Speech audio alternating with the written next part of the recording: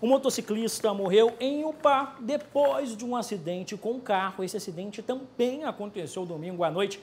De acordo com o Corpo de Bombeiros, o motorista do veículo bateu de frente com o motociclista que caiu no chão com dificuldade de respirar.